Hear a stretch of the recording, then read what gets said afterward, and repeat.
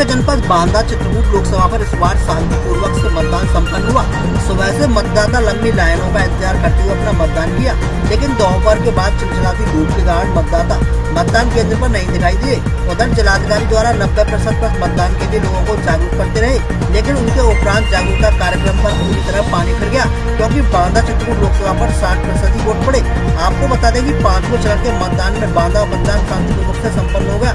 सुबह से लोग लंबी लाइन लगाकर अपना मतदान हर्षोल्लास के साथ किया, लेकिन दोपहर के बाद मतदाता अपने घरों से नहीं निकले।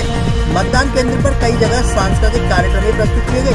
साथ ही मतदान केंद्रों पर मतदाताओं के लिए पीने के लिए मीठा पानी, पेठा उन्हें चना, गुड़ के साथ ठंडा पानी भी रखा गया।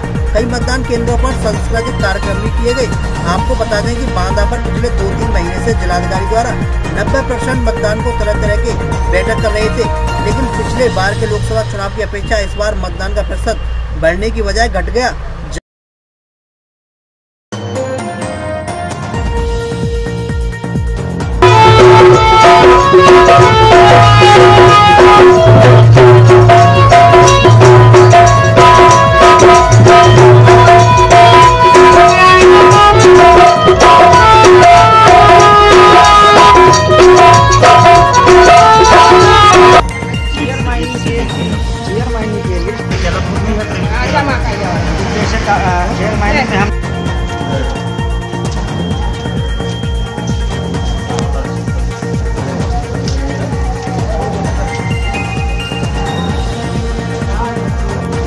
ये कब से लाइन पे खड़े हैं आप? मैं काफ़ी देर से खड़ा हूँ दो घंटे हो गया मैं बहुत ज़्यादा संख्या में भीड़ यहाँ पे एकत्रित है। इससे ये पता चल रहा है कि जो है वोटरों के मन में बहुत ज़्यादा उत्साह है लोकसभा चुनाव को लेकर। पिछले साल के अपेक्षा इस साल कैसा देख रहे हैं आप? इस साल पिछले साल की अपेक्षा इस साल मतदाता जो है ज़्यादा जागरूक है और इस साल ज़्यादा वोटिंग होने वाली है। कितना परसेंटेज जा सकता है यहाँ का?